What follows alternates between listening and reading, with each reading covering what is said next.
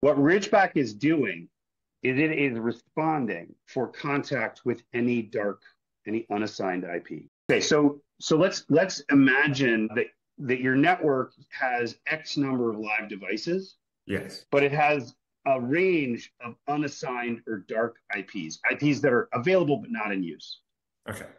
Okay. What Ridgeback is doing is it is responding for contact with any dark, any unassigned IP. Mm-hmm. So what that does is it, and, and when it responds, it locks up the offending device. In, in other words, it ends the exploitation when they're trying to discover assets in your environment. Okay, so pretty much like essentially like isolates. It's it's really it's officially so the question we're asking is what does it mean when that device that turned red tries to interrogate an IP address that doesn't serve a live device. It's one of two things, or it's even worse. It's actually exploitation going on. Okay. So bad guys. So what we do is if you don't have Ridgeback, that signal to the dark IP by the bad guy essentially falls on the floor because no other product sees it. Right.